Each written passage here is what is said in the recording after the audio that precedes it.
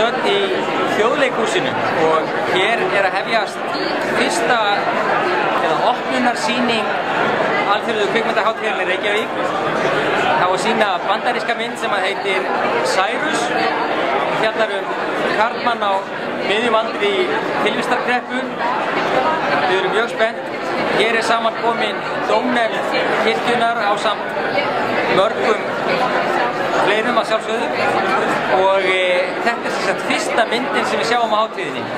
Síðan býður okkar það verkefni að horfa á 12 kvikmyndir sem að allar keppa um aðal velunin á hátíðinni og velun gaggrínenda og, og kvikmyndavelun kirkjunar. Við erum mjög spennt að, að, að, að bæði sjá uppáfsmyndina og, og, og að sjá síðan þessar tól sem að framöndan eru. Og hugsaum okkur eiginlega bara gott til glóðarinnu